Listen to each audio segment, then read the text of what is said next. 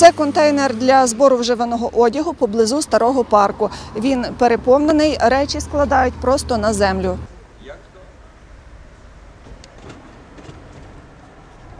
Іван Дудка, який проживає поблизу, розповів раніше, теж залишав старі речі у контейнері. Зараз він переповнений.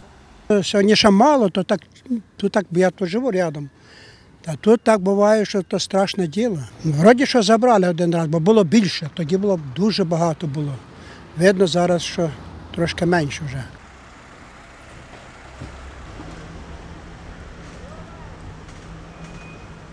Тернополянин, який не назвав свого прізвища, каже: Дуже гарно. Дуже. Низька культура це само собою, так? А організація того всього, хто за цим стоїть, то їхня, в першу чергу, їхня проблема. А це кадри з архівного відео про облаштування двох соціальних боксів на вулиці Острозького, 32. Торік у Тернополі встановили п'ять таких контейнерів за кошти міського бюджету.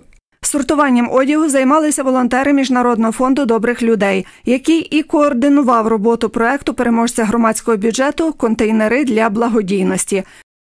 Сьогодні керівник фонду добрих людей Ігор Костюк пояснив, чому не забирають одяг з соціального боксу поблизу старого парку. Подекуди громадяни, тернополяни не до кінця розбираються, як функціонує контейнер. Там тобто є ручка, куди закидати його.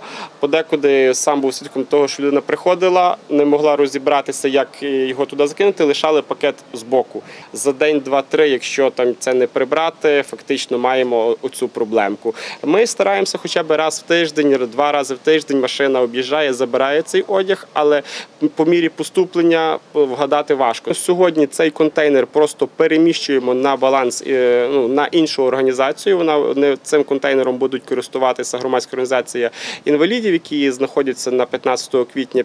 Анжела Шова, Оксана Галіяш. Новини.